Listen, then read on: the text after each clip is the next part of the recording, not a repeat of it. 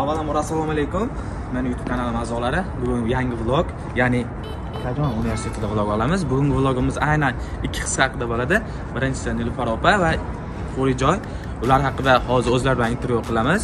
O'zlariga turli xil savollarni berib ko'ramiz. Albatta siz uchun video foydali bo'ladi degan umiddaman. Videoni oxirigacha ko'rishni tavsiya qilaman. Bo'lmasam ketdik.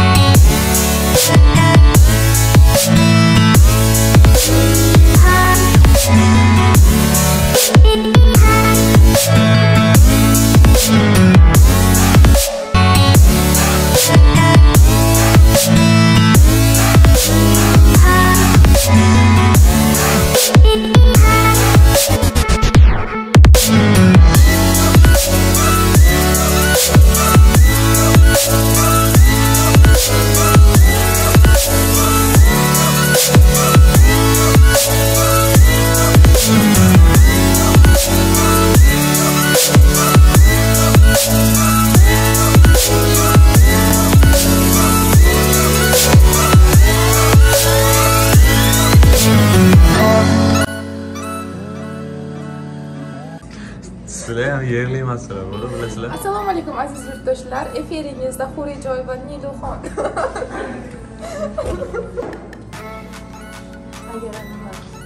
Muzaffar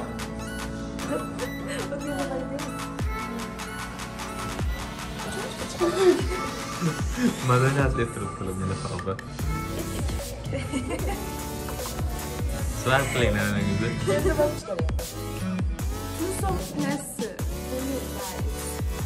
and eat. Va semiringlar wait wait wait wait wait wait. Do some like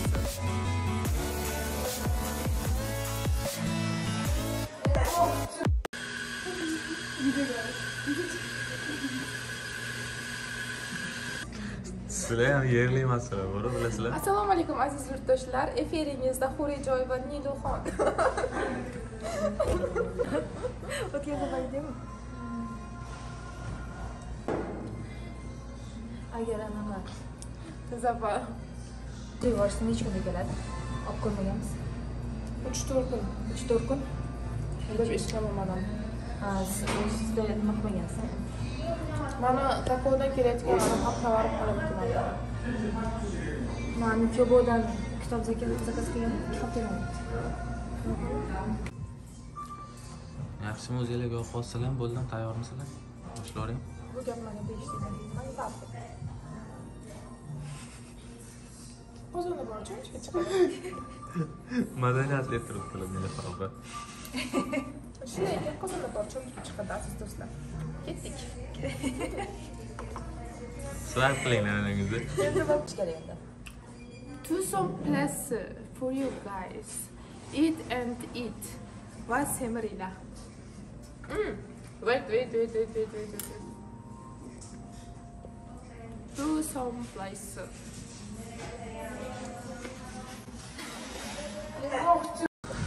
assalomu alaykum avvalambor intervyuga rozi bo'lganingiz uchun kattakon rahmat albatta xurijoy va nilufar opa boshlatdim boshlatdim sizlarga bo'lmasa savollarimni berishni boshlayman birinchi savolim o'zingiz haqingizda joy. Nimaga aynan joy? Asl ismingiz qanaqa yoki shunaqami? Biroz o'zingiz haqingizda ma'lumot. Assalomu alaykum hammaga. Sizlarga ma'lum mashhur joy desam. Xo'sh xullas mani ismim to'liq ismim huriniso bo'ladi lekin pasportdagi ismim judayam boshqacha. Mani haqiqiy ismim sarvinoz. A, huri qayoqdan bu yoshligimda mani huri deb chaqirishgan va joy qachondan bu ismimga qo'shilganligi koreyaga kelganimdan keyin mani onam erkalatib purijon dedilar keyin o'sha joyga aylanib ketdi. Xullas shunaqa tarixiy ismim man o'zbekiston surxondaryoda tug'ilib keyin toshkentga ko'chib kelganmiz biz oilaviy toshkentda yashaganmiz lekin qalban surxondaryolik maktab kollejlarni ham surxondaryoda o'qiganmisiz yoki toshkentda? Maktab kollejlarni man toshkentda o'qiganman. Kollejda o'qib yurgan paytim koreyaga o'qishga kelishga qiziqish boshlaganman va shundan keyin universitetdan kelganman siz sizga ham aynan shu savol. O'zingiz haqingizda ma'lumot bersangiz. Assalomu alaykum. Mani ismim nilufar o'zi to'qson beshinchi yilman. Так tayinsotim o'zi namangandan bo'lib lekin toshkentda bo'lgan kelib o'qishga bo'lganman koreyaga balandroq. Gapiravering gapiravering gapirmaydi o'sha o'qigan joydan o'zi o'zbekistonda toshkentda o'zi o'qiganman. Maktabda и kollej ham toshkentda bitirib lekin universitetda hozir koreyada o'qib turibman. Kattakon rahmat bo'lmasa ikkinchi savol. Sizga to'g'rijoy sarvinoz. Qaysi tillarni bilasiz? To'g'risini aytsam biza kollej paytimizda shunaqangi psixologik test bo'lganda o'shanda yozishgan. Bitta tilni mukammal bilish xohlaysizmi yoki beshta tilni chala chala bilish xohlaysizmi deb yozishganda o'shanda beshta tilni chala chala tanlaganman vaholanki bu taqdir ekan. Man hozir beshta tilni bilaman va chala chala bilaman. Qaysi qaysi tillar? O'zbek tili rus tili ingliz tili koreys tili va yapon tilidan boshlang'ich darajada Aha, ishlar zo'r. Sizga ham xuddi shu savol. Nilufar opa qaysi tillarni bilasiz? Qaysi tillarni bilaman? O'zi tojik bo'lganim uchun tojikcha bilaman o'zbekcha rus maktabida o'qiganim uchun ruscha полноценный полный и yana koreys tili ingliz endi такой начальный уровень faqat gaplashish so'zlashish nimasi darajasida nemis tili tanlaganman lekin olib ketaman top koreys tilini top darajasi nechi koreys tilida top kelishimdan oldin kelishimga ikki ikki yil bo'lgan bo'lsa to'rt olganman shu bilan topshirmaganman Mhm. sizda to'g'rijoy topik Aa, man topik e, koreya kelishimda to'rt gup olib kelganman ammo lekin ming afsuski o'sha to'rt gupim ikki yil o'tgandan keyin vaqti tugadi va hozir yaqinda topikka topshirdim. Endi ko'ramiz rezultat qanaqa chiqadi yoki pastga yoki tepaga chiqqan bo'lishim siz pastlagan bo'lishi mumkin. Tepaga chiqqan bo'lishi kerak o'zi. Man ham shunaqa o'ylayman pastlagan bo'lishi mumkin chunki ekzamen qiyin bo'lmadi man uchun lekin e, writingdan ancha bo'lmasa keyingi savolga o'tamiz nimaga aynan koreya aynan o'sha beshta tilni bilarkansiz boshlang'ich darajada. Nimaga aynan koreyaga kelgansiz? Man har doim shu savolni berishsa bitta javob beraman. Koreyani texnologiyasi mani o'ziga tortgan chunki yoshligimdan koreyskiy o'sha koreya haqidagi dramalar kinoda seriallar ko'rganimda bizada telefon paydo bo'lmagan payti koreya seriallarida telefonda bor edi o'shalarga qarab qiziqib keyinchalik yangi yangilanib ketgan sayin qarayapman. Har xil texnologiyalar qiziqish paydo bo'ldi. O'sha texnologiyalarni o'z ko'zim bilan ko'rib ushlab nima bilan qilinayotganini ko'rish uchun injeneriyaga qiziqqanimligim uchun koreyani tanladim. Nilufar opa sizga nimaga aynan koreya? Menga aynan koreya? Так o'zi o'zim fakultetim fashion dizayn o'zi o'zbekistonda ham kollejda ham shu fakultet bo'yicha o'qiganman. Lekin kollej bitirgandan keyin koreys tili o'quv markazida ishlaganman. Menejer bo'libda o'sha yerdan koreys tilini o'rganib shunaqa e, koreyaga o'qish возможность возможность nima edi qiziqishni boshlagansiz koreyaga? Да, Kore- Koreyaga endi o'qishga borish qiziqishni boshlab, sekin o'qigandan keyin endi yana ko'proq bilishni xohlaganim uchun. И koreys e, Koreyada baribir dizayn O'zbekistonga qaraganda ancha rivojlangan. Shuni ozgina ko'proq o'rganish uchun shu Koreyani tanlagan bo'lsam kerak.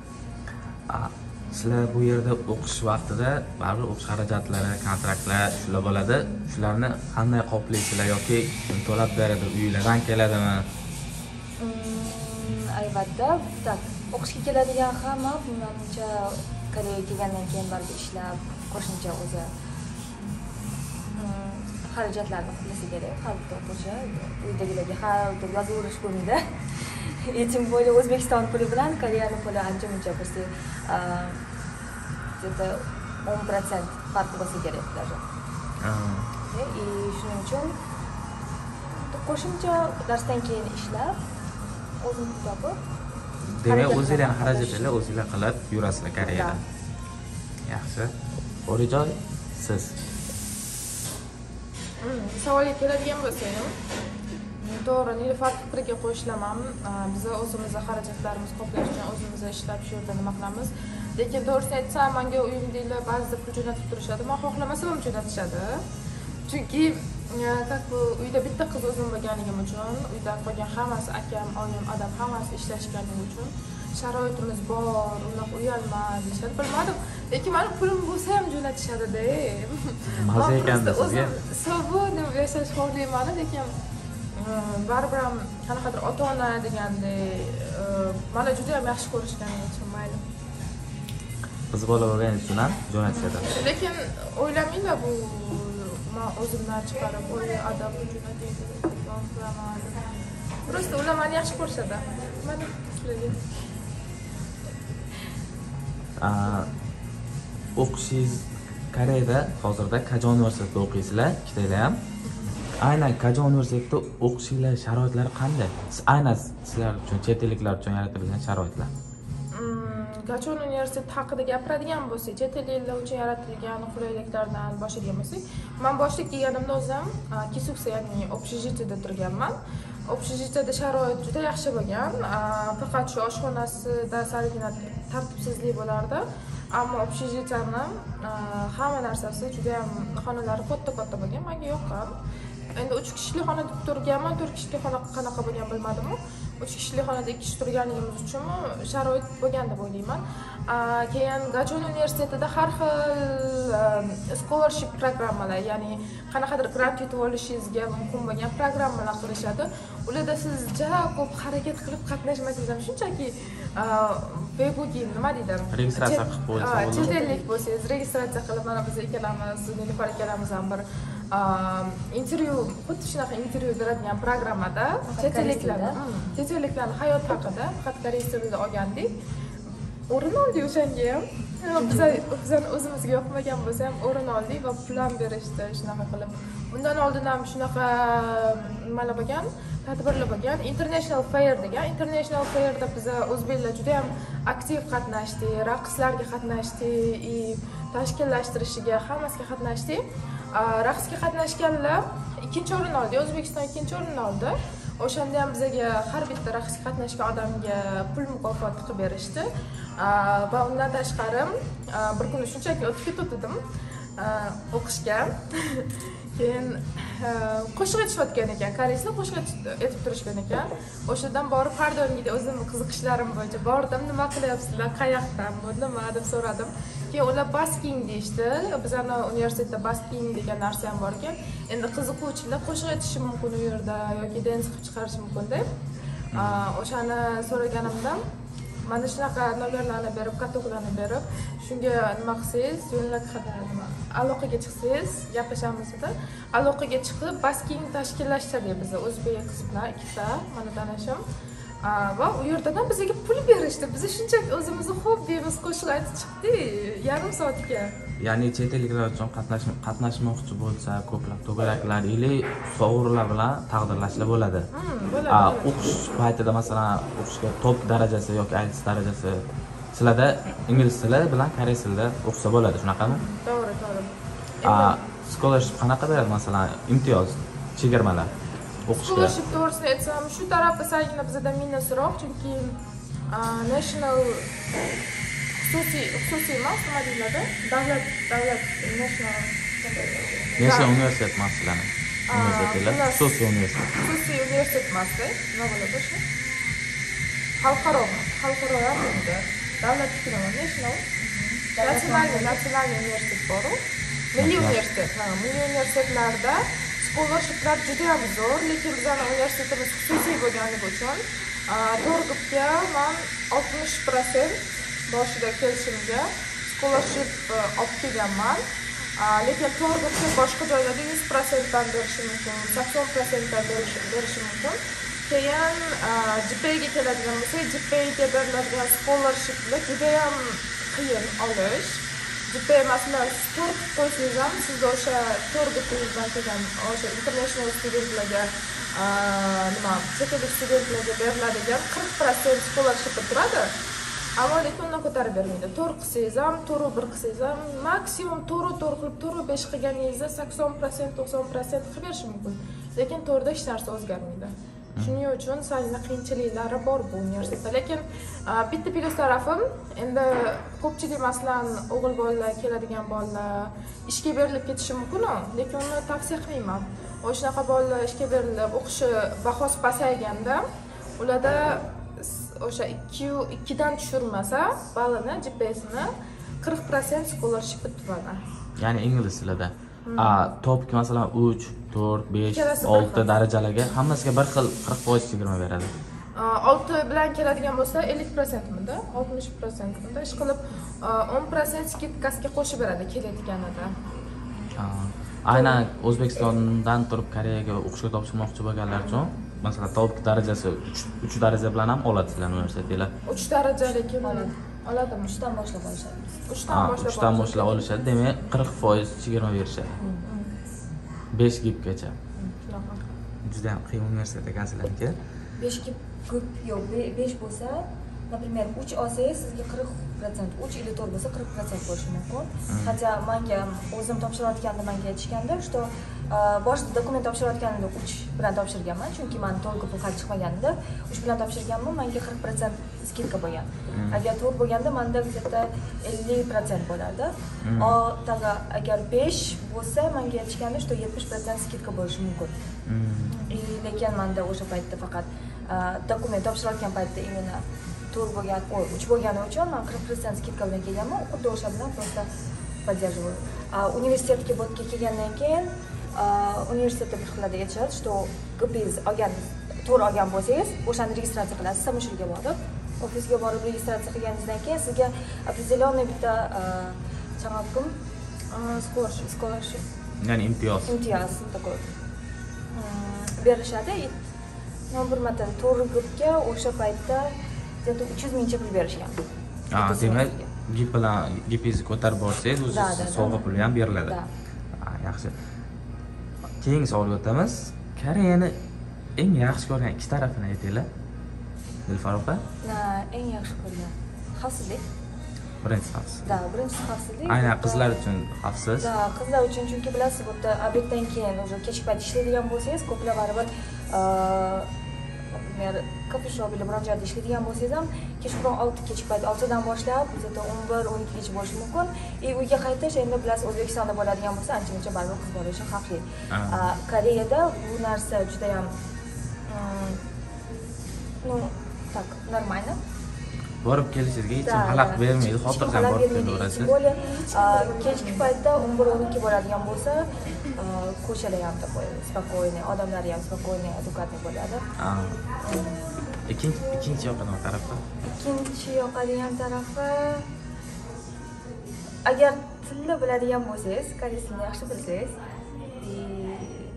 o'zingizni yaxshi ko'rsata olsangiz и koreyslarni nimasi yaxshi hammaga bir xil qarashadi например siz chet ellikmisiz или chet ellik emasmisiz demak teng huquqda ko'rishadi hamma да teng huquqda ko'rishadi и тем более shu virus paytida sezdim koreyslarda o'zi страховкasi bor bo'lgani uchun endi больница или bu государство? Davlat tomonidan да bularga какой то процент to'lab berishadi lечение har bir nimasida и korona paytida ularda lecheniyasi ham koreyslar uchun бесплатно bo'lgan и xuddi shunaqa biza chet ellik bo'lishimizga qaramasdan bizaga ham xuddi shunaqa lecheniya agar koronaga qanaqadir nimangiz bo'lsa chalingan nimangiz bo'lsa borib bemalol бесплатный test o'tishingiz mumkin бесплатный lechение olishingiz mumkin ya'ni keyin да и o'zimda holatlar bo'lgan просто universitet tomonidan или просто bu yerda hamma chet elda registratsiyada turishadida и uyimga прямой почта yuborishgan maska hamma kerakli narsa sanitayzer kerakli narsalarni просто yuborib berishgan ya'ni chet elliklar ham xotirjam koreyslarda yashab koreyslarda imtiyoz olib yashashligi mumkin. A endi xuddi shu savol teskari holatda. Koreyada ikkita yoqtirmaydigan tarafingiz. Ikkita yomon tarafi. Ikkita yomon taraf. Birinchisini aytishim mumkin xuddi o'sha til bilan bog'liq. Ya'ni til bilmasa? Til bilmasa endi sizni uncha mensimasligi mumkin. Ah, koreyslar tomonidan bo'ladi. koreyslar tomonidan xilada endi internetda ham ko'plab ko'rsa kerak. Hozir особенно oxirgi paytda ko'p chiqyapti internetda что tili bilmasa sizni qanaqadir mensimasdan o'zni huquqlaringizni himoya qila olmaysiz himoya qila olmaysiz to'g'ri gapingizni gapira olmaysiz Ah, ikkinchi yoqmaydigan tarafi ikkinchi yoqmaydigan tarafi nima bo'lishi mumkin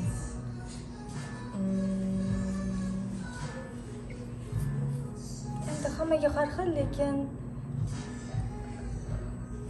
ko'p ichishadi например ishlaydigan bo'lsangiz ham bu yerda например ishga kirsangiz bir oyda bir marta hechik degan narsa bor koreyada.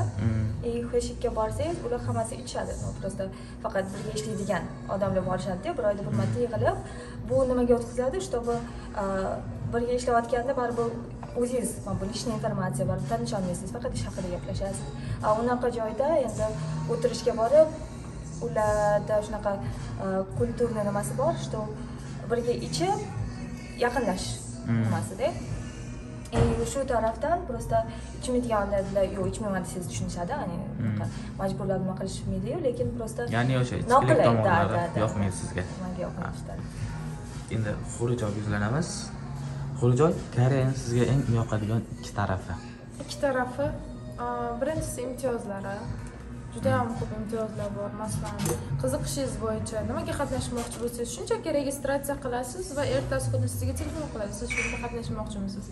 Uni tekinlari ham bor pullilari ham bor keyin man bu narsani ko'proq bilganim volontyorstvo volontyorство ya'ni volontyorstvo volontyorство ko'ngillilik nima? Ko'ngillilar uchun. Ko'ngillilar qiladigan ish boru. Masalan yordam sifatida pul berilmaydi o'shanaqa ishlarda qatnashib yurganimda bildim. Bizani masalan songnamda joylashgan bo'lsak songnamda o'zini migration centerda immigration centerda shunaqa volontyor qiladigan joylar bor.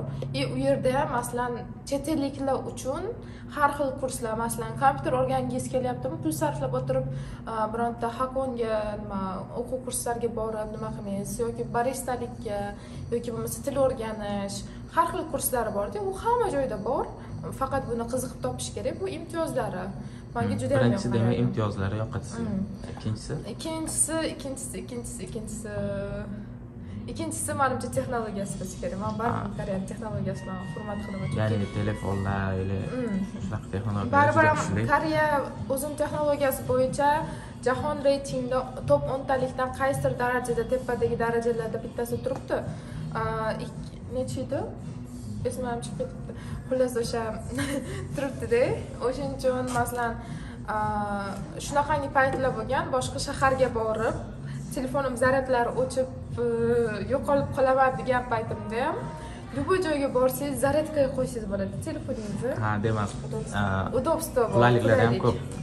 Qulayliklari bor aynan o'zini fuqarolar uchun masalan man o'zbekistonda bo'lganimda hozir koreyada qanaqa sayohat qilib yurgan bo'lsam u shahardan bu shaharga bu shahardan bu shaharga qilib yurganimdaqa yurolmasdim Ah, chunki o'zbekistonda bilet eh, biletlar juda qimmat. Man masalan sharoit yo'q. Sharoit yo'q. Koreyada shunisi yoqdi manga xohlagan joyingizga borib xohlagan joyingizdan kelsangiz bo'ladi bir kunning ichidada. Ha, o'sha hammasini qilsa bo'ladi ya'ni qulayliklari va texnologiyalari hammasi texnologiyani texnologiya tufayli-da texnologiya. To'g'ri endi ikkita aynan yoqmaydigan taraf. Ikkita yoqmaydigan tarafi birinchisi to'g'risini aytsam odamlar yoqmaydi. Odamlarni xarakteri yoqmaydi. Aytaymi nimaga? Yo'q endi gaplashsangiz kirishsangiz juda yam yaxshi odamlari. Masalan gaplashib nima qilsangiz sizga yaxshi nilufar aytgandek rostdan ham man hozirgacha nima yashayotgan bo'lsam hech mani chet ellik deb ajratishganini ko'rmaganman lekin ko'pchilikda shunaqa narsa bo'lgan. Veguk deb ajratishadi koreyslar tudun sudun deyishadi lekin manda unaqa narsa o'zim sezmaganman ko'rmaganman ham реально zo'r koreys aholisi madaniyati hammasi yoqadiyu просто xarakteri qanaqa? Ularni ichiga kirib borsangizgina ochiladida masalan ha shunchaki birinchi ko'rishgan odam bilan chiqishib ketmaydi. Ha. keyinchalik tanishib uzoq muddat o'sha muloqotda bo'lsangiz masalan manda ma, amerikani aytadigan bo'lsa amerikani odamlari endi shunchaki videoda ko'rsangiz ham bilinadiku pranklar qilsa nimalar qilsa? Hmm. hay hay deb ketishadi. Shunday kulgili nima qilishadida даже bizani o'qishimizdagi ingliz o'qituvchilar bilan koreys o'qituvchilarni реально farqi borda. Ingliz Hmm. o'qituvchilar hamma o'quvchilarni ismlarigacha yodlab oladida. Ko'chada ko'rib qolsa ham biz ham qilib ko'rmay- ko'rmasdan o'tib ketayotgan bo'lsak ham hi hori hi joy. How are you? deb kelishadida.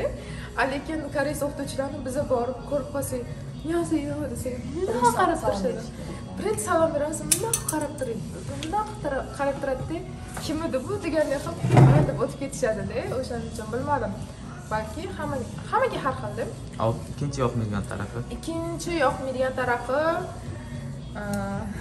nilufar bilan o'xshash o'sha sul tampe sigaret bilan ichish yoqmaydi chunki sigaret hidi почти hamma oshxonani oldidan o'tayotganingizda gup etib uradi va agar oshxonada ishlaydiganlar bo'lsa tushunadi sulchiplida ishlaydiganlar nimalar bo'lsa tushunishadi judayam ichgandan keyin ko'pchilik o'zini yaxshi tutolmaydi endi hamma shunaqa ichgandan keyin o'zini yaxshi tutolmaydi o'shaning uchun qanaqadir demak sizga ham ichishi ichishlari yoqmaydi ichish chekishi bor. ichishlari или odamlari yoqmaydi hammasi ham emas o'sha ba'zi odamlari yo'q odamlari emas o'sha ko'pchilikda bor xarakterda masalan siz tanishishga harakat qilyapsizda boryapsizda annyeonghaseyo deb tanishishga harakat qilyapsiz ular uyalishadi bunaqa yuzini yopib olishadi bunaqa ah ah ah kirib kirib deb shunaqa qilishadida.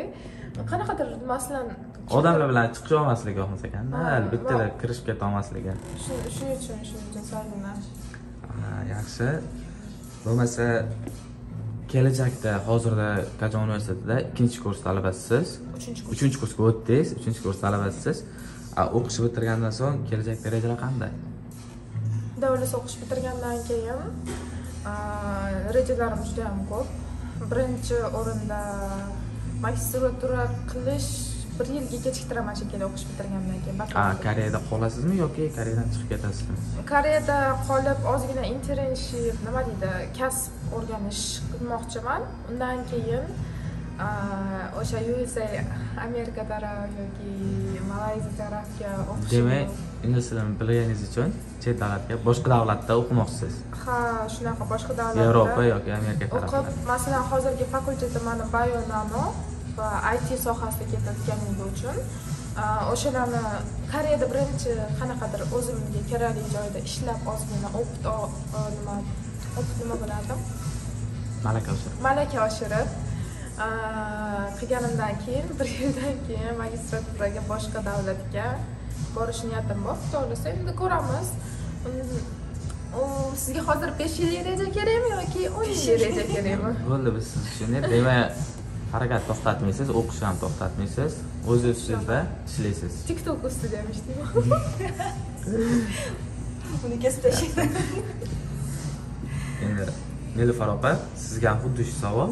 Kelajakdagi rejalaringiz qanday? Hozirda kajon universitetida? Siz ham ikki- ikkinchi kurs talabasisiz? Shunaqami ikkinchi kursmi?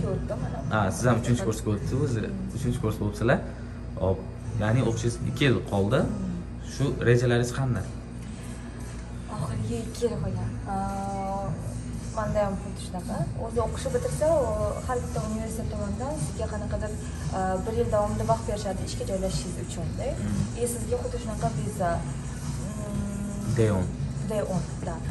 D10 D10 viza berishadi и ishga agar o'sha paytda ichida ish topa olsangiz ishga kirib koreyada bemalol qolishingiz mumkin или magistraturaga ham topshirishingiz mumkin lekin o'zim xohlagani magistraturani koreyada emas lekin chunki o'ylab qarasam mani fakultetim bo'yicha koreyada magistraturaga nima qilish uncha ah, siz uchun удобный emas да да noqulayliklari bor. Да noqulaylik bor. И unchalik foydasi yo'q deb o'ylayman shunga mani ham o'zim planlarim bor что amerika или yevropa tomoniga topshirib ko'rish niyatim bor. Hali ikki yil bo'lgani uchun yaxshilab tayyorlanib nima qilish kerak. Ya'ni siz ham o'sha chet davlatda o'qishni davom ettirmoqchisiz?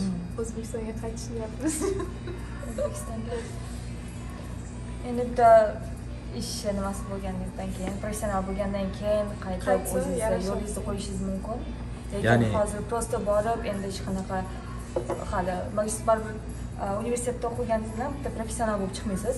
Agar biron qanaqa o'qitingiz bo'lmasa ishlab ko'rmasangiz e, sizga бесполезно o'zbekistonga qaytib просто yana xuddi shunaqa ya'ni shu yerda o'qiganingizga yarasha o'z ustingizda ishlab ya'ni kuchli ishingizni mutaxassis bo'lmoqchisiz kattakon rahmat ikkalanglarga ham intervyu uchun savollarim mani savollarim tugadi asosiy savollarim albatta endi hozirda o'zbekistondan koreyaga kelmoqchi bo'lgan talabalar bor o'quvchilar bor. Aynan bu vlogim shular uchun bo'lgan.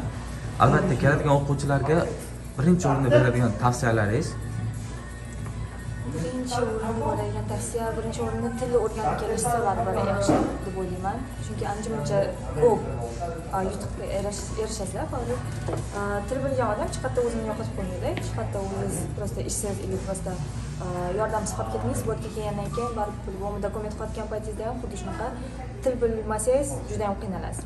Ya'ni til o'rganib kelsa bu yerda qiynalmaydi yaxshi bo'ladi. oldindan и kelishdan oldin bir qanaqadir o'ziga maqsad nima uchun da nima uchun kelyapman и nimaga kerak? Shuni tushunib kelish kerak chunki bir xillar kelishadi просто koreya bo'lgani uchun kelishadida. Kelgandan keyin afsuslangan odamlar juda yam ko'p. To'g'ri. и да keldida просто o'zini to'rt yil umrini просто так yo'qotayotganga o'xshaydigan shunaqa To'g'ri, gaplarni ko'p to'g'ri. eshitganman. Shunga kelishdan oldin nimaga kelyapman и shu narsa menga kerakmi agar sizga bu narsa kerak bo'lmaydigan bo'lsa- ho'p o'zbekistonda o'qishni xohlayman chet elga borishni xohlayman yaxshilab o'ylab qaysi chet el qat- menga to'g'ri ko'proq to'g'ri keladi o'shalarni o'ylab kelish yaxshiroq bo'lsa kerak ya'ni kelishdan oldin o'zlarini rejalari bilan aniq maqsadlar bilan kelishsa yaxshi bo'ladi. Bulijoy siz koreyada koreyaga kelishdan maqsad qanaqadir hozirgi yoshlarni miyasida aylanayotgan koreys guruhlar K-pop. K-pop yoki koreyani shunchaki ko'rish bo'lmaslik kerak. Odam hamma narsani o'zi uchun qilish kerak. Kim uchundir nima uchundir qilish emasda A, hech qachon o'qish o'rganishdan to'xtamasligi kerak odam. A, kelyapsizmi masalan? Oddiy biznes biznes уже bu yerda oddiy soha bo'lib qolgan to'g'risini aytsam xafa bo'lmanglar biznesda o'qiydiganlar chunki koreyaga keladigan o'zbeklarni to'qson yetti protsenti biznesga keladi bilaman. И va ko'ryapmiz bu biznesda o'qiyotganlar ham ja qoyillatib o'qib qo'yishayotgani yo'q. Endi bordir qoyillatib o'qiyotganlar lekin o'shanaqa просто так koreyaga keldim degan nom uchun keladiganlar ko'payib aynan ketishyapti koreyaga shunchaki koreyaga kelib ishlash maqsadida kelish uchun shunaqa bo'lmaslik uchun aniq maqsad bilan kelishsa aniq maqsad bilan kelinsa koreyaning imtiyozlari masalan chet elliklarga qilib beradigan narsalar juda yam ko'p mana endi til deylik tilni bilmasdan keldi angliyskida kelganlar ham o'zlarini aravasini yaxshigina tortib yuribdi masalan biron qanaqa ingliz tili или koreys tilini bilib kelish kerak Ha. agar umuman bilmay bilmasdan keladigan bo'lsangiz kelgandan keyin ham o'zini ha man koreyaga keldim man erishdim deb tashlab qo'yish kerak emas. Дальше больше ko'proq harakatda davom etib o'zini ustida ishlab masalan boshqa narsalarga ham qiziqish bildirib endi o'zini ustida ishlash kerak degani faqat o'zini sohasi bo'yicha mana shunday tekis ketish kerak degani emas. Masalan boshqa soha masalan texnologiya bo'yicha keldim injeneriya bo'yicha keldim ITga qiziqsam boshqa narsaga qulaylik ya'ni fikrlash ko'p, fikrlash ey. kengroq bo'lib harakat Ha, kattaroq Ka- bo'lsa yaxshi Koreyada imtiyozlar juda ham ko'p. To'g'ri endi ishlashingiz mumkin, qiynalishingiz mumkin. Mana bu kalla bilan badanni qiynamasa, e, qiynamasak biz o'zimiz hech narsaga erisha olmaymiz hamda. O'shaning uchun fighting qilinglar. demak yaxshi harakat qilib kelish kerak Xuddi o'zim shunaqa qiladigan gapirib qo'ydim. kattakon rahmat ajoyib intervyu bo'ldi Hammaga omad. Bu intervyumiz kimgadir foydali bo'ladi degan umiddamiz. Albatta koreya keluvchilar uchun ham hamma uchun sizlar kattakon rahmat sizlarga. Shunchalik intervyu berib vaqtingizni ajratganinglarga